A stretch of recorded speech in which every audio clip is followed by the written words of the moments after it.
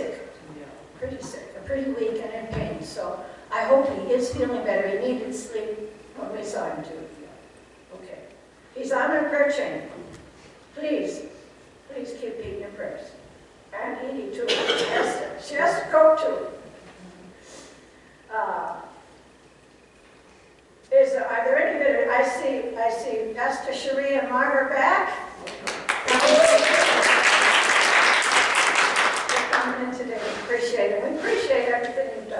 And and will be doing for us. Do we have any other, do we have any visitors? Not off the top of my head, I don't see a stranger out there. Thank you, Lisa. Lisa's back too. Um, any other announcements? Well then, I'm going to ask you all to greet your neighbors in the love of Christ.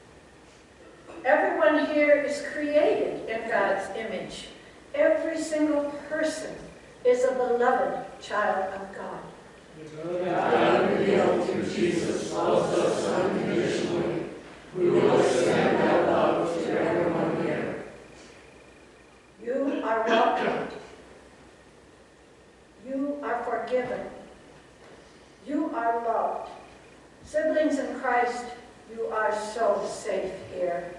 We are safe in the midst of this sanctuary. We can let our guard down and be our messy selves. Then God's love can transform our hearts and minds.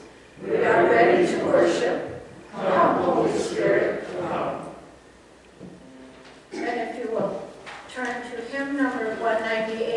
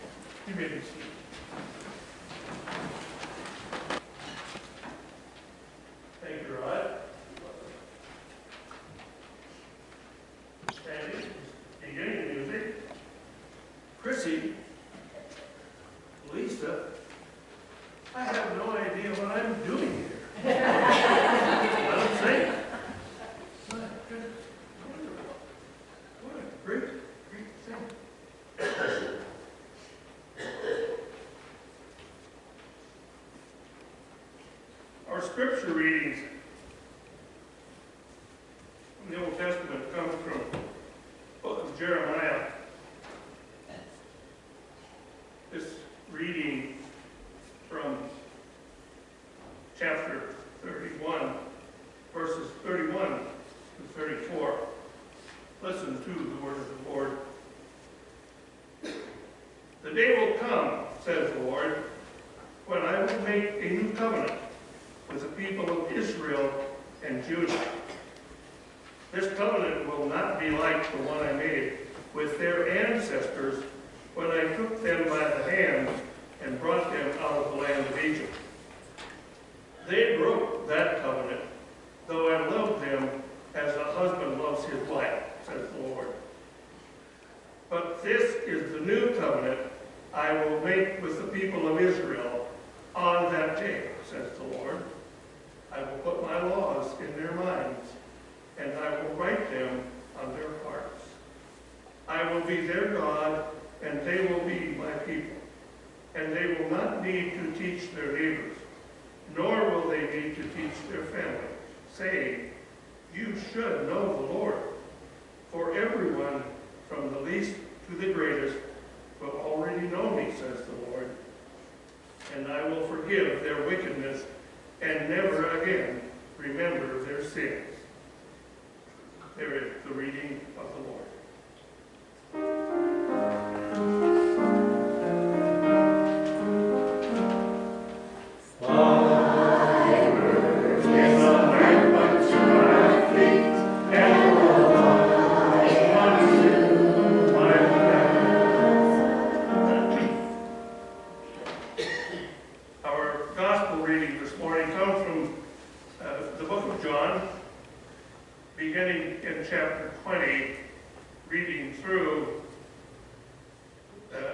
I'm sorry, in John 12, beginning in, in verse 20 and reading on through to verse 33.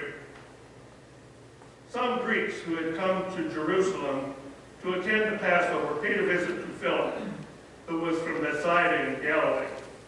They said, Sir, we want to meet Jesus. Well, Philip told Andrew about it, and they went together to ask Jesus. Jesus replied, The time has come for the Son of Man to enter into his glory. The truth is, a kernel of wheat must be planted in the soil. Unless it dies, it will be alone, a single seed. But its death will produce many new kernels, a plentiful harvest of new life. Those who love their life in this world will lose it. Those who despise their life in this world will keep it for life. All those who want to be my disciples must come and follow me, because my servants must be where I am. And if they follow me, the Father will honor them. Now my soul is deeply troubled. Should I pray, Father, save me from what lies ahead? But that is the reason, the very reason that I came. Father, bring glory to your name.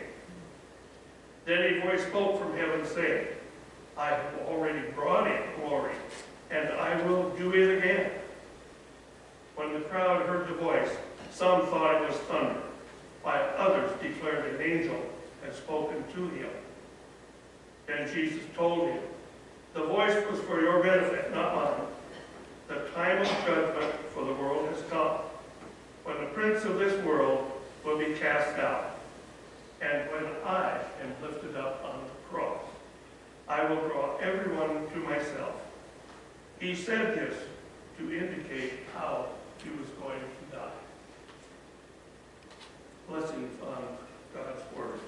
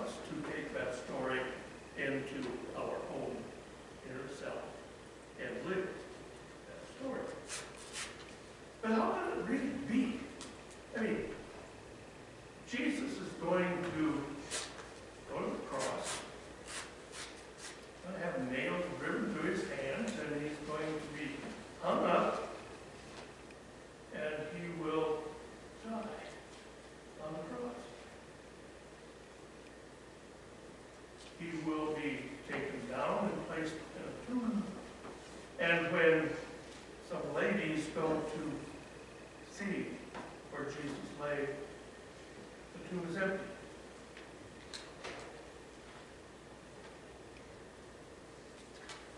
Sorry, I'm getting ahead of the story.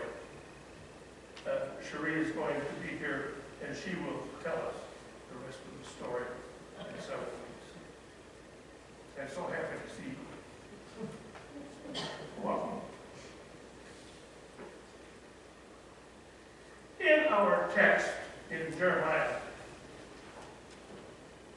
a- a little bit of background. Jeremiah was called to be a prophet in about 627 BC. Uh, And I'm sure at as I read in the early part of the book of Jeremiah, uh, sort of on unsure ground to begin with, but also accepted that God had called him to talk to the people of Judah. That's where his main prophecy lied with the nation of Judah, which was the southern kingdom. He foretold what was going to happen many times because it was nearly 40 years, or about 40 years before Judah really fell. They didn't change their ways. They became captives, and Judah was destroyed. But, as we read this morning, what the Lord told Jeremiah was that there is a new covenant coming. The Lord says, the day will come when I will make a new covenant with the people of Israel and Judah. And the Lord says, I will put my laws in their minds, and I will write them on their hearts. Much to say. When I was reading this, I'm, I'm thinking about uh, the feelings that when we turn our lives to God, uh, and we think of what that feeling really is, it sort of comes to me as if I'm trying to describe my love, my feelings for my boys. I, I can't find words. I mean, saying I love them, yeah, that, sure, true, but it just doesn't seem quite enough to me. So maybe we, do we need to reach down a little deeper and find that little deeper meaning. The Apostle Paul said that there are no excuses for people not to be in tune with this new covenant. In his letter to the Romans, he says, From the time the world was created, people have seen the earth and sky and all that God made. They can clearly see his invisible qualities, his eternal power and divine nature. So they have no excuse whatsoever for not knowing God. And this knowing comes to us when we give ourselves over to God through our Lord Jesus Christ. Yes, the old covenant was broken by people, but the new covenant is the foundation, is Christ. It's a new concept, it's revolutionary, that Jeremiah heard from the Lord. Those words offer a very unique personal relationship with God himself. With his laws written on people's hearts instead of inscribed on stone. And that covenant is here today for you and I. Sometimes we wonder, perhaps, if mankind has really learned. We have proven over and over again that our human knowledge will never be enough to rescue us from evil.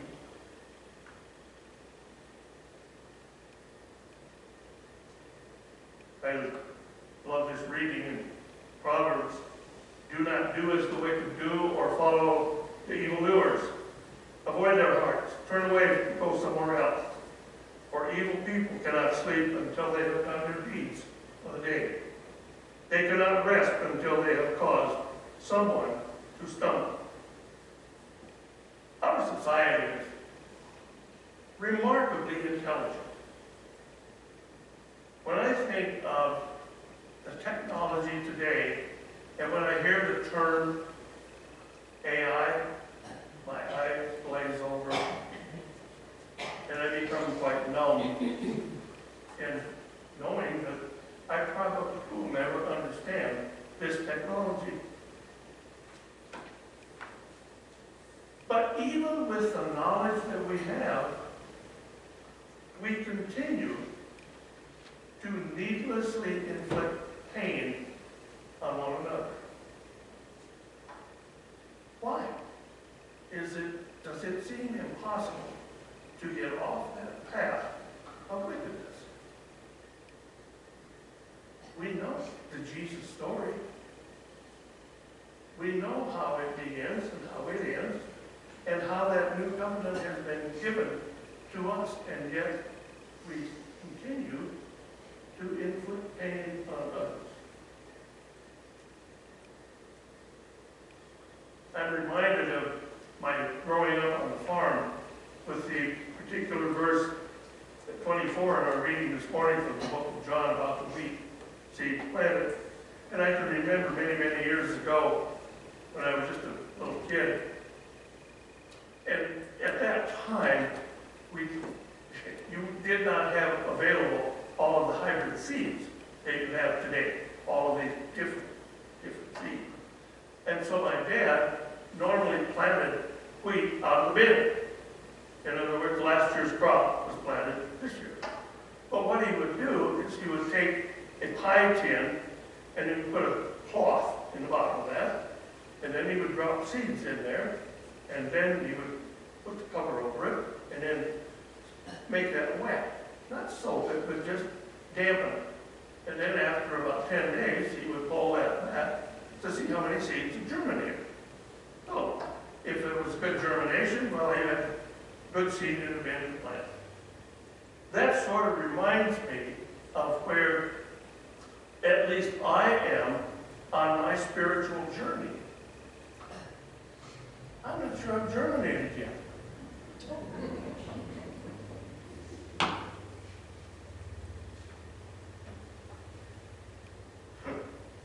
Jesus had to die to pay the penalty for our sins, but also to show his power over death by his resurrection.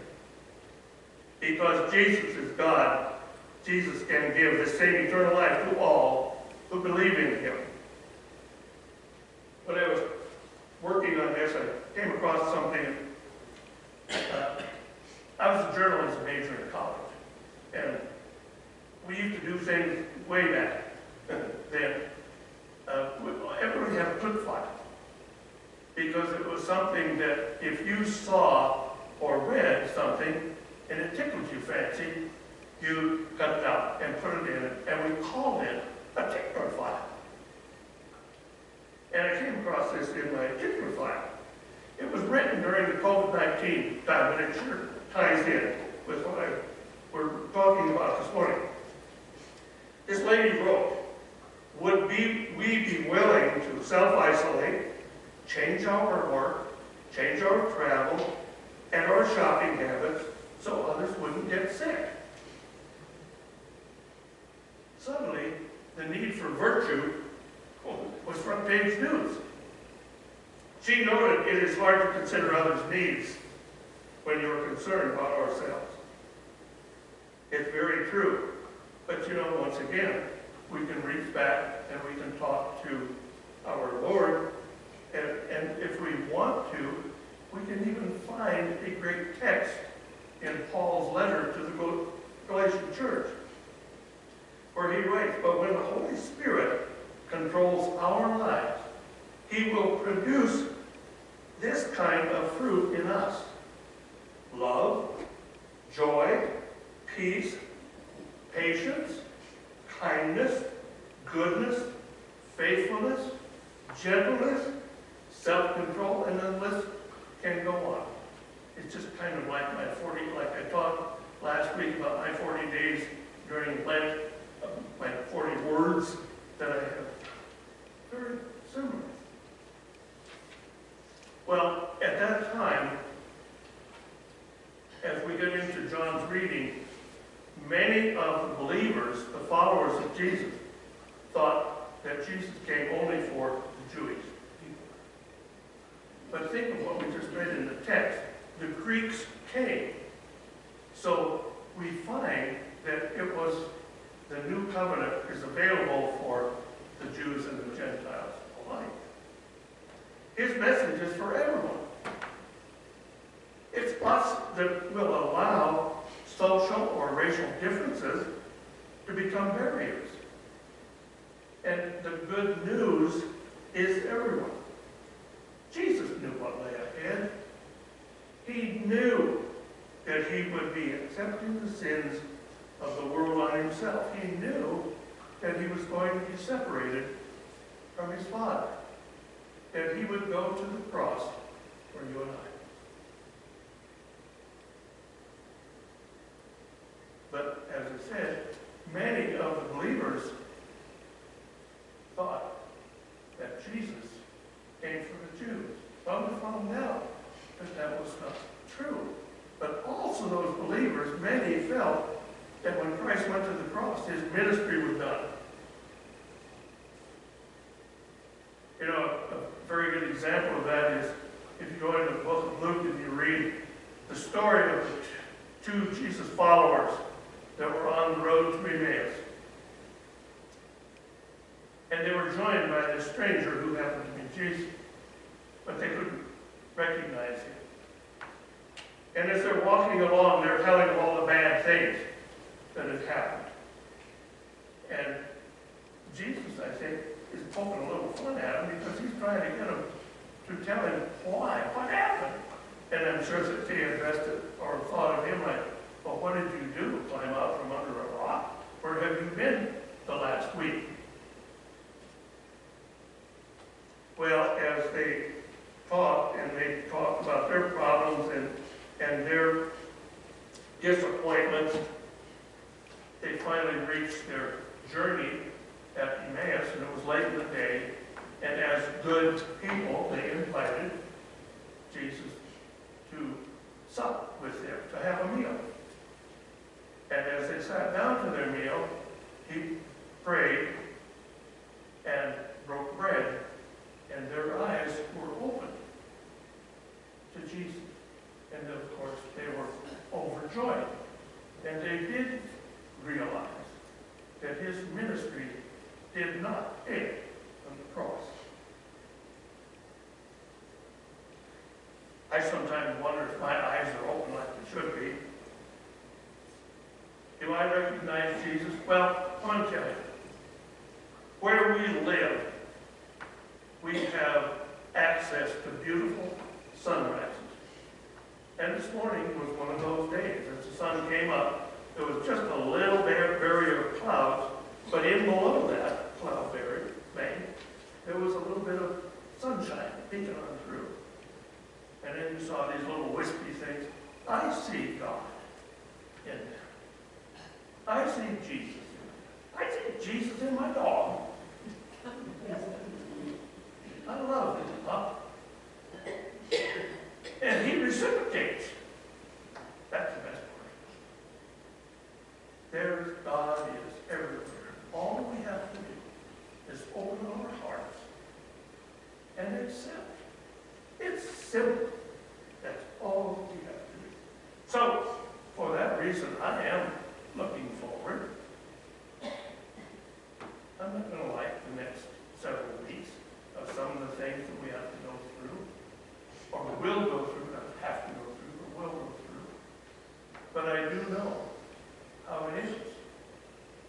And I love that King, that he came for you and for me, and is there forever.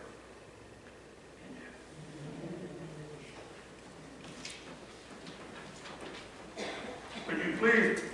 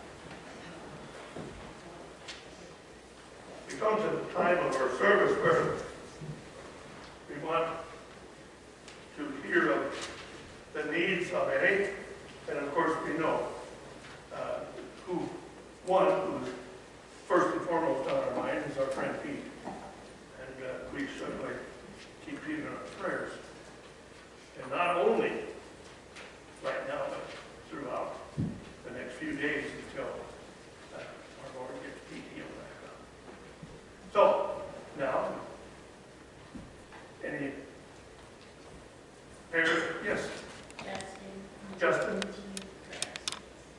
T. Back in the hospital again soon.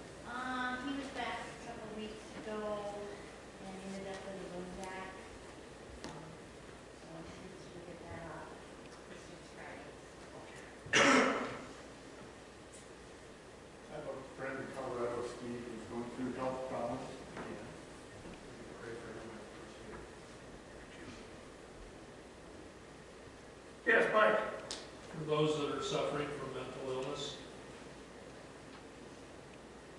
Always. Krissy? Um, my friend asked her if there's a while ago, because the, uh, she passed away on Friday. Um, so to keep doing her, my sister was her best friend, so just keep them all in prayers. So, Will certainly. Anyone else? I will offer uh, our daughter-in-law Joan's name to our list. Her life is uh, suffering from renal cancer. Will you pray with me, please? We bring you, God, the names of those mentioned, but also the names of people who are in our hearts and minds been mentioned and need your healing touch. You are the great physician, and we pray for your healing touch on all. At times, prisoners and captives seem forgotten in the Lord. We ask your loving touch on them. We do need to be reminded that you are in charge and we need to lay our troubles and perils at your feet. In the name of you, our Lord and Master Jesus Christ, we offer the prayers that you taught us, you taught your disciples. Our Father, who art in heaven, hallowed be thy name. Thy kingdom come, thy will be done, on earth as it is in heaven. Give us this day our daily bread, and forgive us our trespasses, as we forgive those who trespass against us. And lead us not into temptation, but deliver us from evil. For thine is the kingdom, and the power, and the glory forever. Amen.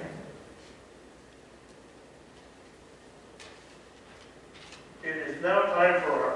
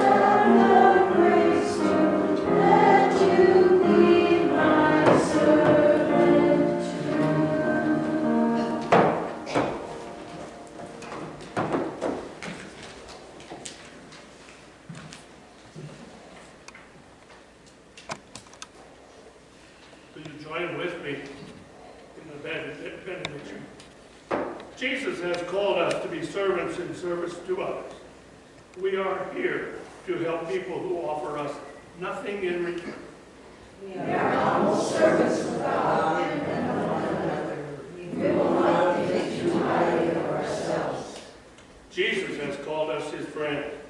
We are welcomed and loved and valued by God. We are children of God Most High. We will not think too little of ourselves here. Go now to tell others about the love of God. Go now to share the love of Jesus in both word and deed. We will love others with reckless abandon. We will offer blessings and offer ourselves